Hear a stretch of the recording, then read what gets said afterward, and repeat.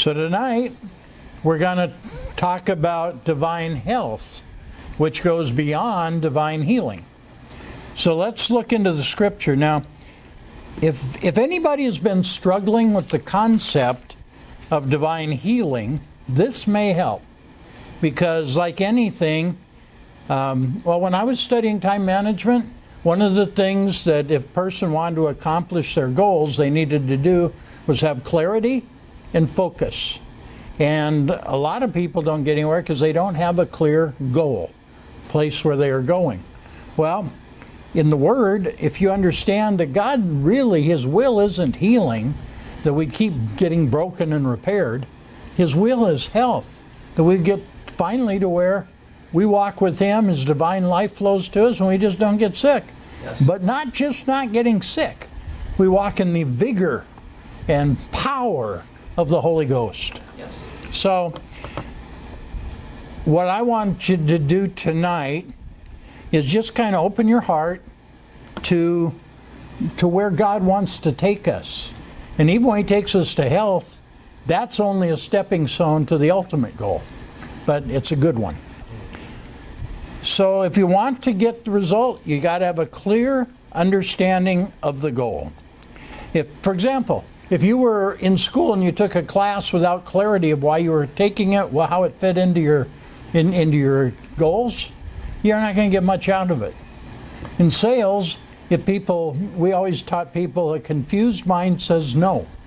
In other words, we would give them a choice between two things. Not, do you want it in black or do you want it in white? You would never hand them a color palette and say, which one of these do you want? Because what will happen at that point is uh, I need to think about it. You know, people can make one clear decision at a time, and you help kind of lead them in the right way by by helping them make the by giving them a choice between two things till they get where they need to be.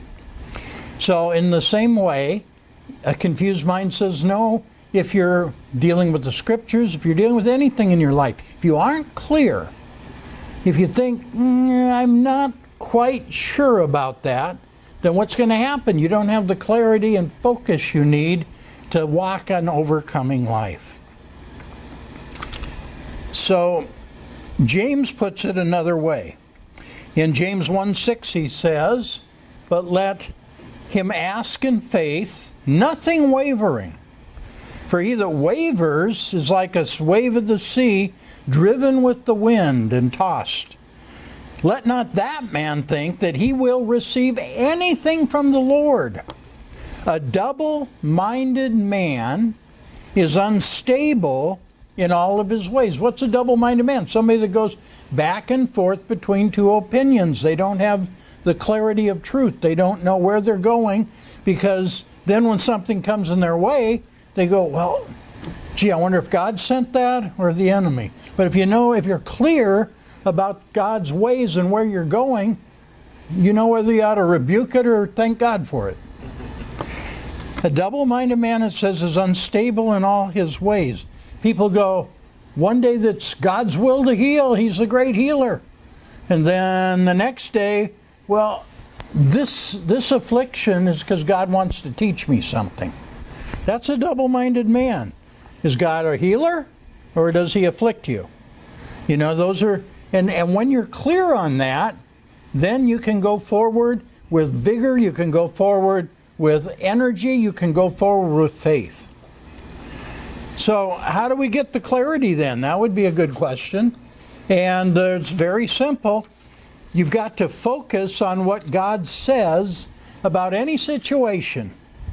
How do you know what he says about any situation? His Word. Yes. He gave that to us as a guidebook. He gave that to us so we wouldn't have to wonder what His will is.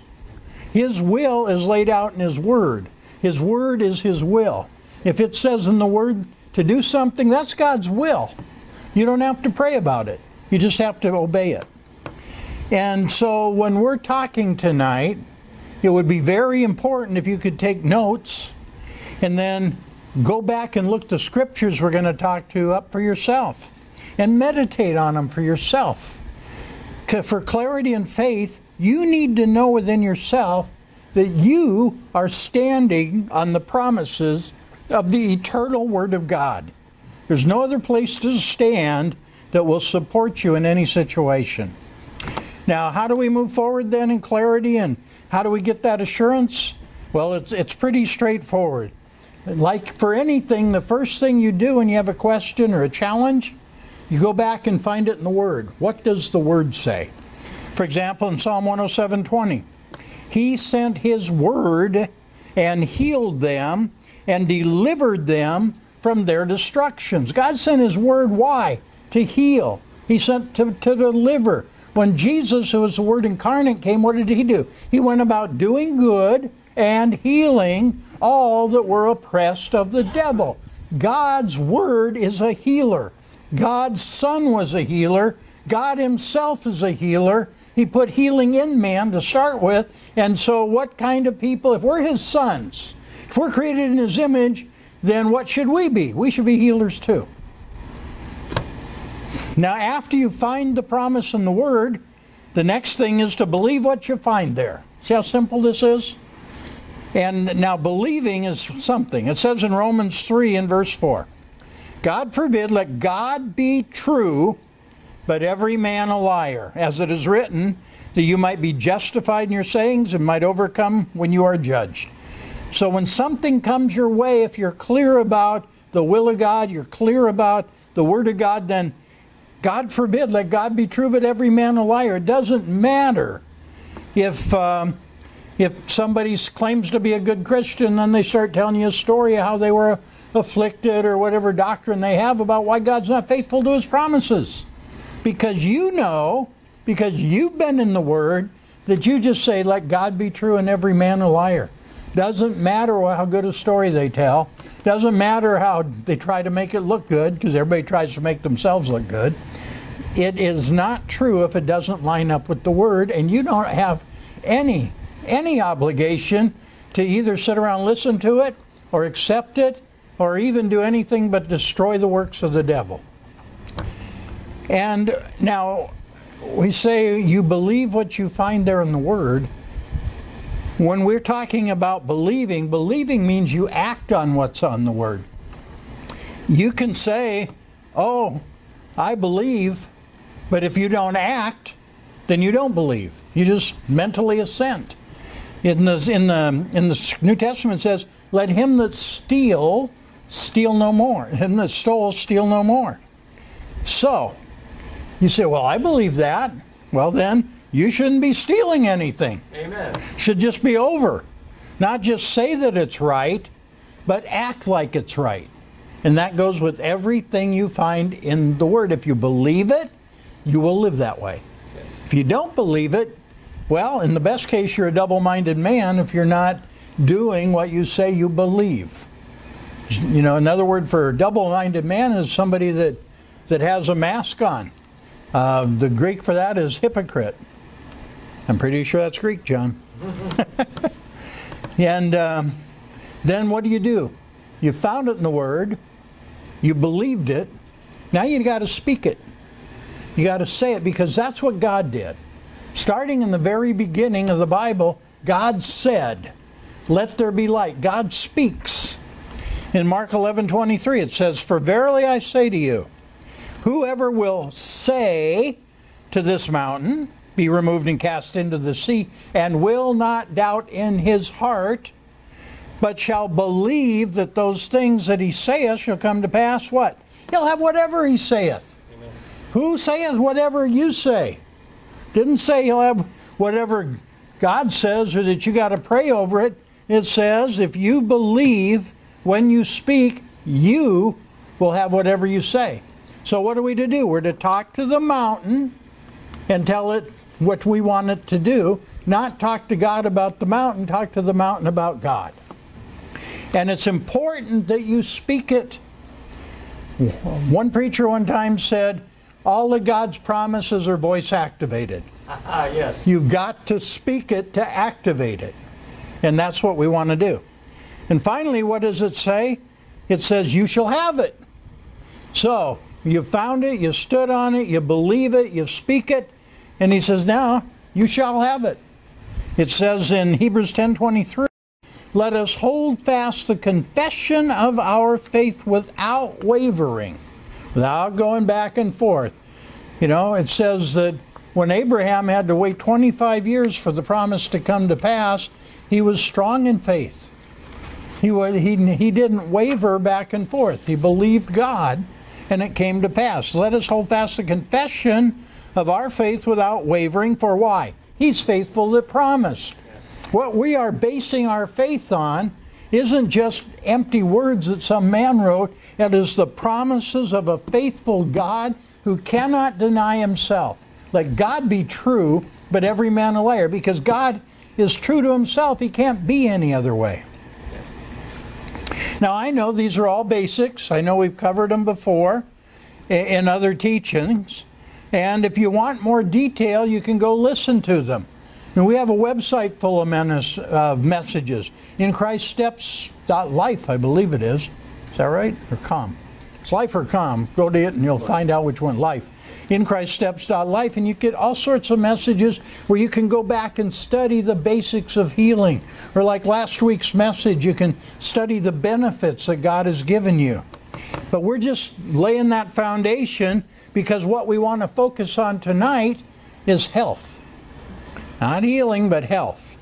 Now, divine healing and health, first of all, sometimes it helps to know what they're not to understand what they are. So, divine healing and health are not medical, they are not naturopathic, and they are not herbal remedies. They are the moving of the supernatural power of God through His Word. And it happens without naturopathy it happens without medicine. It happens without herbal remedies. It happens because you believe the word and you speak to the disease and say, Go. That's why it happens. Again, the promises are voice activated. So, what is, let's look at divine health now. What is promised in the Word about divine health? Well, the New Testament has a really powerful promise in 3 John 1 and verse 2. Beloved, I wish above all things that you would pr prosper and be in health, even as your soul prospers. You know, God said He wanted you to prosper. He wanted you to be in health, and He wanted your soul to prosper. He wants you to prosper body, soul, and spirit. That's the kind of God we serve. In the Old Testament, He's El Shaddai, the God who's more than enough, the God abundance. And He's just as abundant today. And you read in the Word how He has given us all things that pertain unto life and godliness. That's the God that we serve. Now, if your goal is to have health, healing makes a lot of sense. Because if you're sick when you come to the Lord, then you get healed, repaired, and then you walk in health.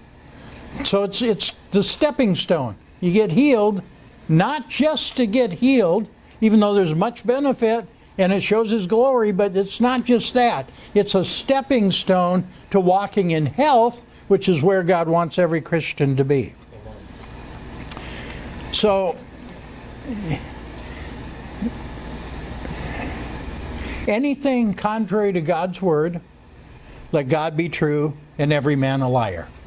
James says in another place, James 4 7, Submit yourselves therefore to God, resist the devil, and he will flee from you.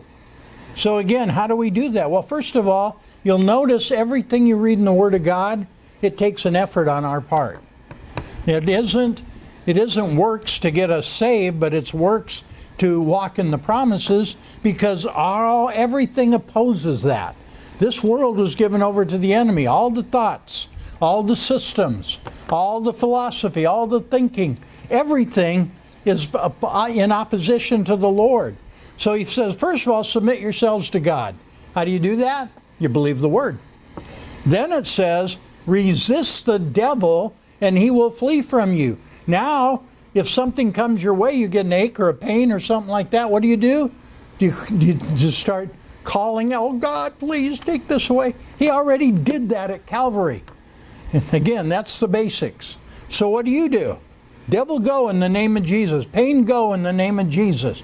I am not going to accept it, and I'm not subject to you. I'm submitting to God, and you I resist. Flee from me.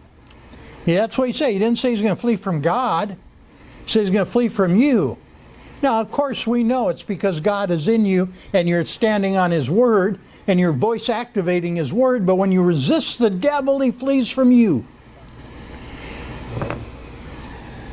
Now, people say, well, if it's God, then why do I have to work? Why doesn't it just happen?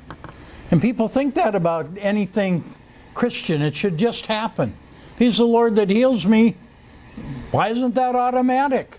Well, because God, because there's three things involved in you walking in anything of God. Number one, there's God and His promises and His will for you.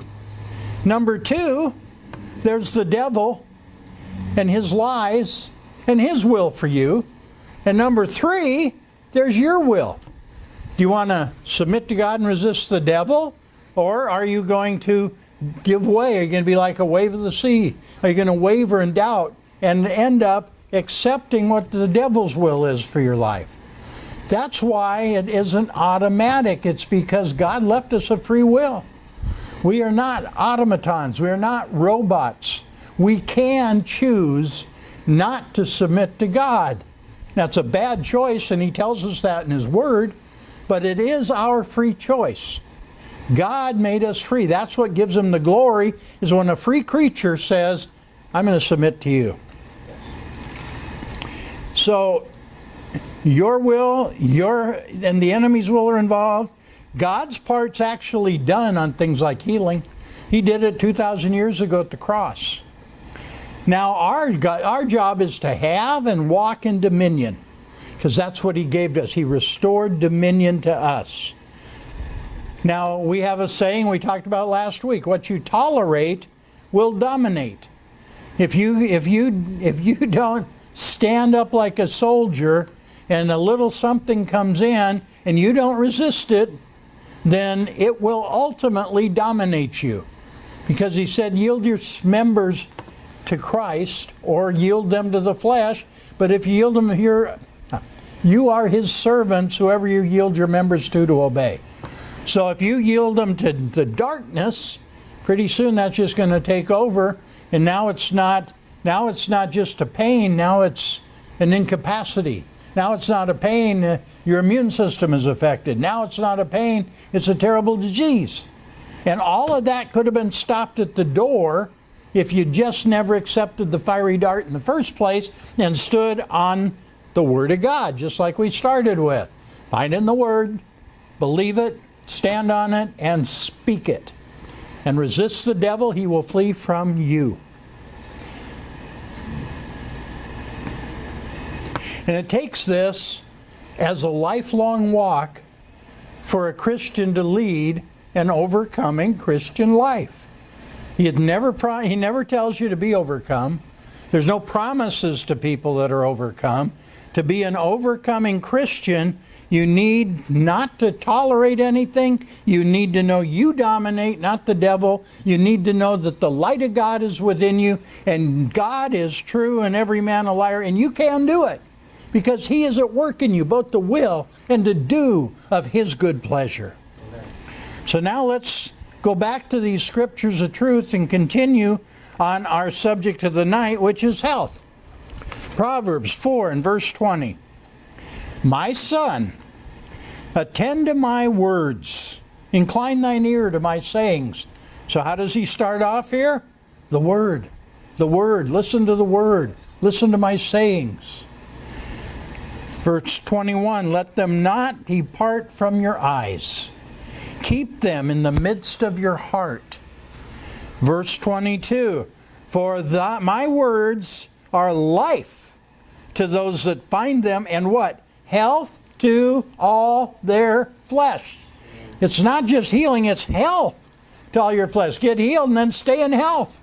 It's health to all your flesh, but you got to keep the word in your heart. Got to keep those sayings. You got to attend to them. That means do what it says. Submit to God, resist the devil, and he will flee from you. The next one in Proverbs 3 7 says this Be not wise in your own eyes. Fear the Lord. Depart from evil. It shall be what? Health to your navel and marrow to your bones. This is another great, and you know, make these personal. When you read this, you're going to say, well, well, the word and submitting to God, this is health to my navel and marrow to my bones. Now, what is the navel? The navel is where the umbilical cord was attached. And that is what, as a baby, that's what brought life into you, into your body. So, what he's saying here is when it says that it'll be health to your navel, it'll be health to all your insides, health to your organs, health to your lungs, health to everything inside this body. It's not just what you can see on the outside we have health for. We have health for our navel. We have health for our insides. And it says in, it says uh, and marrow to your bones. Now I like that one because the marrow is what produces the blood cells.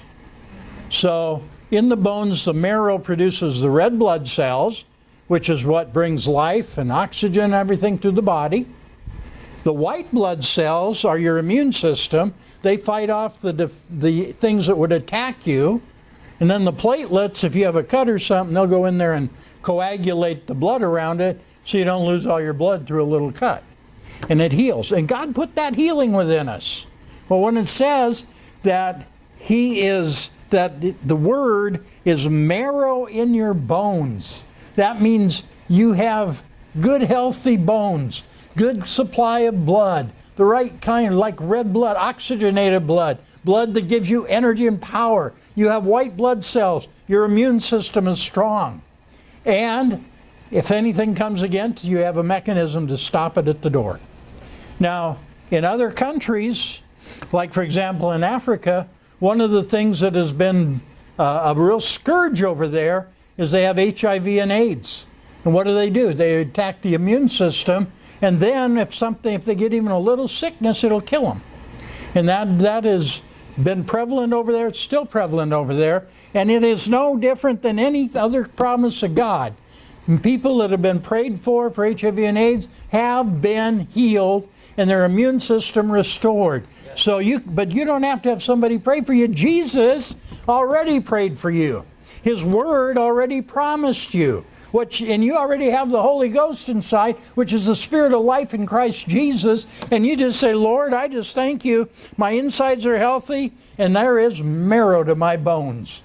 I produce everything I need to walk in health. Proverbs 12 18.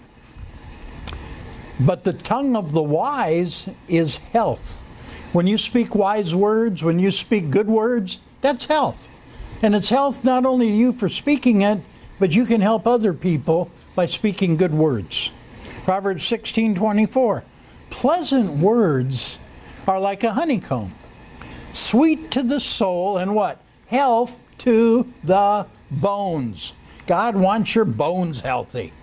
He doesn't want them creaking together and all that sort of stuff and drying, and drying up because you think you have to because you're older. No. Marrow to your bones, health to your bones. And it's health, not just healing, he's talking about here. So, all of these things that we've read by the Word, you are maintaining the walk, you are maintaining the work that God has started in your body. Now let's look at a, actually a, an old favorite scripture of mine in Jeremiah 8 and verse 22. This is what he says Is there no balm in Gilead? Is there no physician there? Why then is not the health of my daughter and my people recovered? Well, for one thing, in Christian circles, a lot of it is because they're ignorant. They don't have the knowledge of His Word that tells them that they can be healed. Now, when it says, Is there no balm in Gilead? Balm was the healing unguents and ointments that came out of that region. So when he says there's no balm in Gilead, well, Jesus said, or the word says, his name is like ointment poured forth. We have a healing balm in Jesus. We have a healing balm in the Holy Ghost. And the words are sweet as honey. We have a healing balm in the Word of God that we can apply anytime we need to. And he says, Is there no physician there who's a great physician? It's Jesus. I am the Lord that healeth thee. I took your sickness, I bore your sin. So when it says all of that, it says, then why isn't the health, not the healing just, but the health of my daughter recovered? Now, this balm here, these healing ointments, I want to read you scripture where this appears somewhere else in the Word. Way back in Genesis uh, 37 25, when the sons of Jacob were kind of camping out, and it says, And they, they sat down to eat bread and lifted up their eyes, and they looked, and behold, a company of Ishmaelites came from Gilead with their camels bearing spicery and balm and myrrh, going to carry it down to Egypt. So Gilead was long known as a place of healing balm. That's why the Lord said, Is there no balm in Gilead? Is there no balm in this new covenant? Is there no balm in this land which I have given you, which is a land that flows with milk and honey? There is. And there is a physician. So we got the unguent, the name poured forth. We've got the physician, Jesus himself. I mean, what more do we need to walk in health? Jeremiah 30, verse 17. I will restore health unto thee. See God's will? Not just healing, health. I will restore health to thee, and I will heal thee of your wounds, saith the Lord.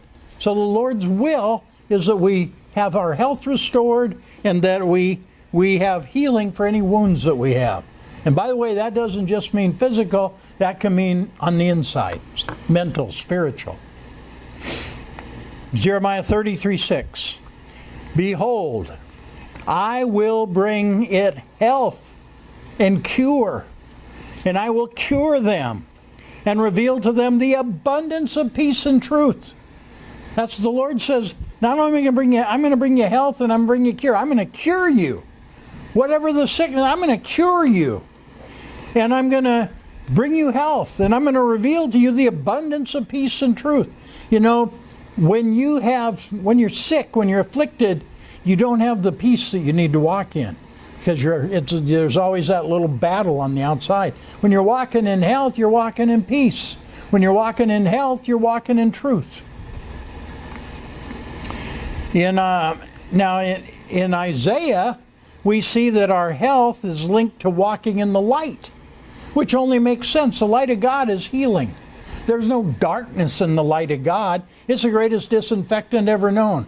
It is the light that destroys darkness. And that darkness can be sin, that darkness can be sickness, that darkness can be anything dark. The light destroys it. Isaiah 58, verse 8. Then shall thy light break forth as the morning, and your health is going to spring forth speedily. Not slowly, not, you know, back in the in Deuteronomy it said that one of the curses was was sickness that was of long continuance. Here it says, Your health, your cure is going to spring forth speedily. That's a good one to stand on. You know, it says, We'll run not we weary, walk and not faint, soar on wings like the eagles, and our health will spring forth speedily. Now, last week we talked. Like we talked about the first of this one, we need that clarity of purpose, which is that God wants us in health. So, is what is the greater purpose of health? Well, last week we went through Psalm 103, the one that starts out, Bless the Lord, O my soul, forget not all his benefits. And verse 3, who forgives all your iniquities, who heals all your diseases, and on and on. But then you go down to verse 7 he says, He made known His ways unto Moses and His acts to the children of Israel. And this is why this is why people need a spirit of revelation in the knowledge of God. Jesus came and laid his hand on people or spoke to people, they were healed. And most of the children of Israel just saw his acts. Oh, he healed them. But Moses knew his ways. that act was because I am the Lord that healeth thee. It reviled the very nature of God Himself. That's His way. So God's way is always to heal. God's way is to always have us walking in health. God's way is to cure us. That's His way. All the everything else that happened is just an. It, if all you see is an act, well then, today He heals, maybe tomorrow He doesn't. You don't understand the ways of the Lord. But what God wants us to do is He wants to make known His ways to us, and He does that through the Word. I am the Lord that healeth thee. Jesus said healing means that the kingdom of God has come near you. Power of God, the Holy Ghost, the light of the Lord. It says in Psalm 61 or 67, verse 1, God be merciful to us, bless us, cause your face to shine upon us. There's that light. Verse 2, that thy way may be known upon earth, and what? Thy saving health among all nations. You see what this says? God wants his way to be known. He wants his people to stand up and know that he is the Lord that healeth thee. So when they pray for some, but when they command sickness to go, it goes. When we walk in health, that shows the God we serve. It's his way. But it, this, this is a very profound scripture here. Thy saving health among all nations. In the Hebrew, that is just one word. It is Yeshua. Thy saving health, Yeshua. Some and and what it ha- the meaning of it is, according to Strong's, it means something saved, something delivered.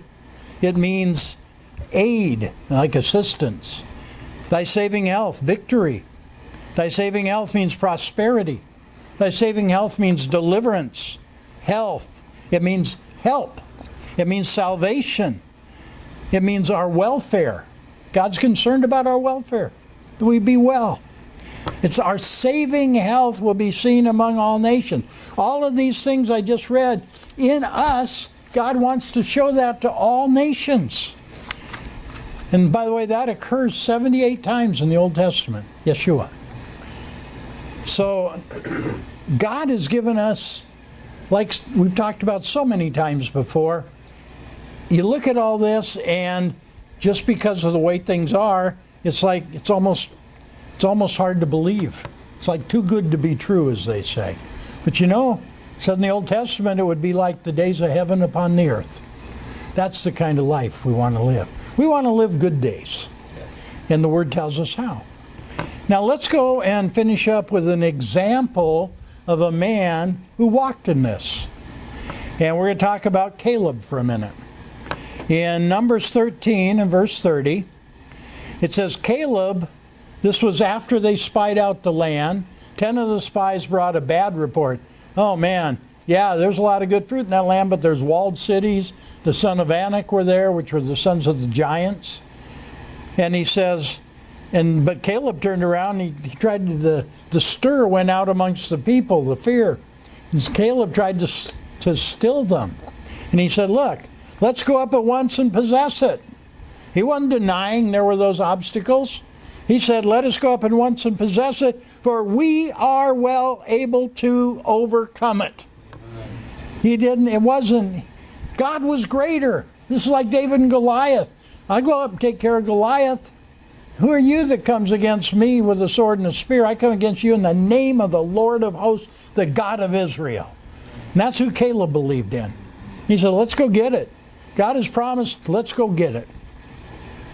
In number in the next verse, 31. But the men that went up with him said, no, We're not able to go up against the people. They are stronger than we. And they brought up an evil report of the land which they had searched to the children of Israel. And so, what did the Lord say about this? He said, verse uh, four, chapter 14, verse 23 Surely they shall not see the land that I swear to their fathers, for bringing up that evil report, for doubting, for not standing and saying, I serve the God of Israel. I the God that parts the Red Sea, the God that preserved us for 40 years in the wilderness, or well, he hadn't done that yet, the God that preserved us in our journeying to Mount Sinai, that God, he's greater than those giants, he's greater than those cities, and he's the one that said that land was ours. Every soul that, every place the sole of our foot shall tread will be ours. Let's go. Let's go up at once and possess our promise. But because the children of Israel didn't do that, they had to wander 40 years in the wilderness till all that generation had passed away and only Caleb and Joshua came through on the other side. Moses, but he didn't get to go into the land. Numbers 14:24. God said, "But my servant Caleb, because he had another spirit with him and has followed me fully, submit to God, resist the devil, he'll flee from you. He has, he has followed me fully. Him will I bring into the land whereunto he went, and his seed will possess it. So here's a man, this here's Caleb, and he goes up into this land, and he, he's a, he, like a like this army that went out. He's a man of war. And the, a man of war looks at the enemy, he doesn't tremble. He finds a way to defeat him. That's his job. So Caleb said, Let's go up once and possess it. And God said, You've, You have wholly followed me. You're going to get to do just that. But uh, there's this 40 years in between. Now, Caleb's 40 years old at this point.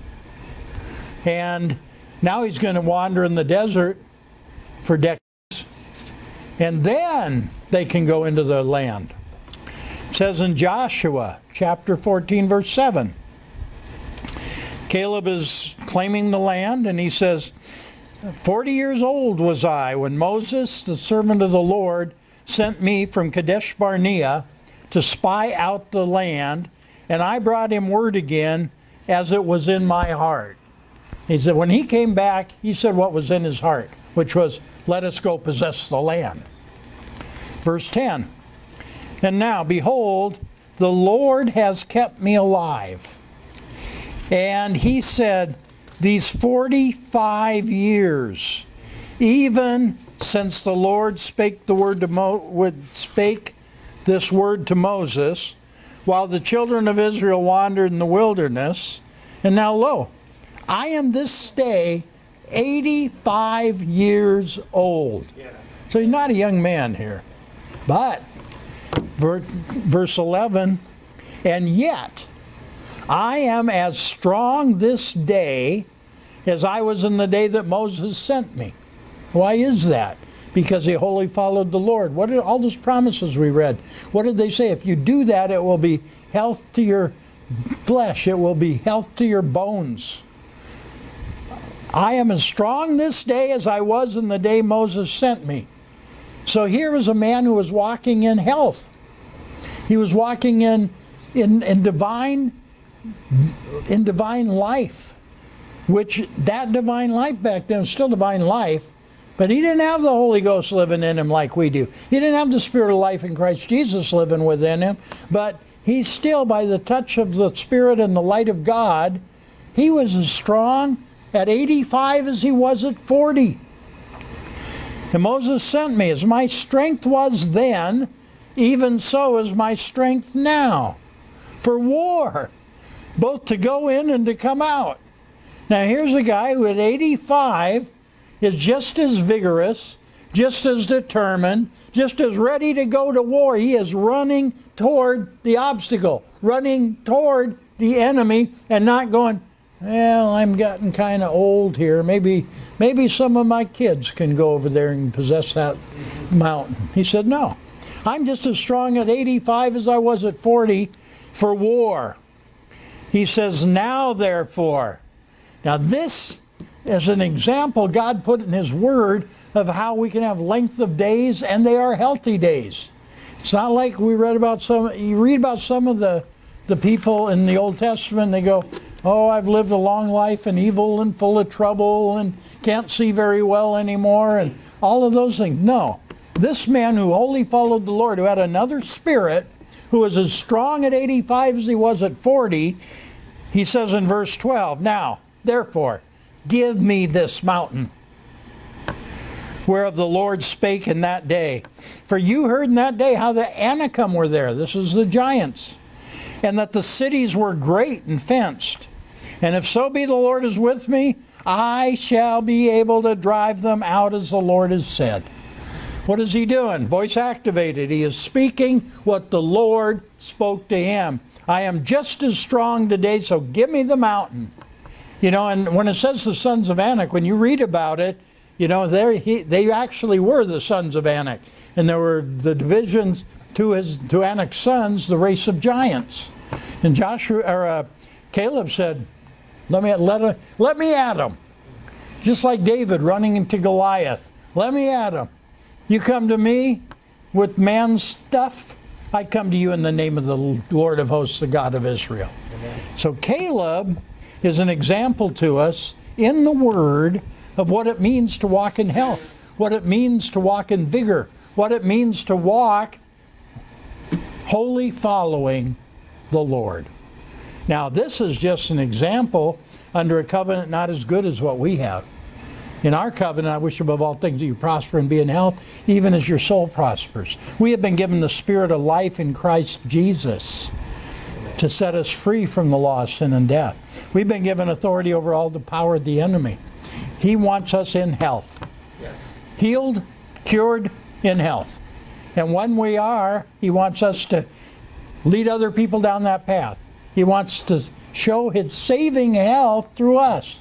And so when we see somebody has a need, we can manifest saving health by healing them. That's what Jesus did. And we are like Him. We always say, oh, as He is, so are we in this world. Well, that's what He did. He went about doing good and healing all that were oppressed of the devil. So anything that's coming against you, you have promises in this word. You have the life of God in the Holy Ghost. You have the ability to speak this word.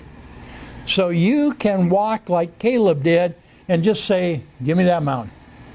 I'm as strong now as I was in the days of my youth. Most of our most of us aren't 85. and this is where Caleb started the battle. It wasn't like he was 80 and he started the battle. He says, I'm 85, now give me this mountain. That, now that's what I like. Moses made it to 120. So that's a good next step. Let's start, let's go to 85 and then go to 120. All things are possible if we believe. And God needs to manifest His saving health. So if you're already trained to do that, if you're already manifesting it, why not let you just carry on as long as you can in the service of the Lord? Father, we thank you for your word. Thank you for your promises. We thank you for the Holy Ghost. We give you the glory, Lord, in Jesus' name. Amen.